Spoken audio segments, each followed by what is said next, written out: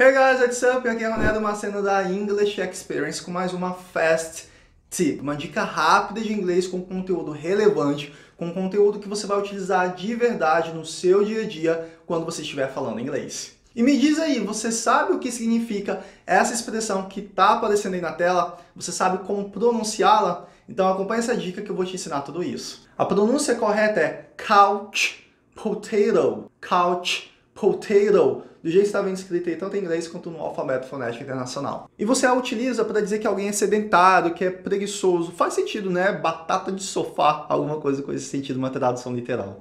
Aplicação numa frase. My husband is a real couch potato. Ah, e antes desse vídeo terminar, já se inscreva aqui no canal, ativa o sininho, já deixa seu joinha marotinho aqui no vídeo, porque assim o YouTube entende que você gosta do meu conteúdo e todas as vezes que eu lançar um vídeo novo, um conteúdo bacana, ele vai te informar falando, opa, o Ronero lançou um vídeo novo, vai lá conferir no canal. E assim você garante que você não vai perder nenhum conteúdo, nenhum vídeo, nenhuma aula que eu trouxer para te ajudar a aprender inglês muito mais rapidamente e muito mais facilmente. E aproveita também, dá uma olhada na descrição desse vídeo, porque tem uma série de links para o meu curso gratuito de inglês, para o meu e-book Estratégias para Falar Inglês, para você poder destravar o seu inglês e finalmente conseguir falar inglês de uma forma tranquila, uma forma simples e fácil. So that's it guys, see you, bye bye.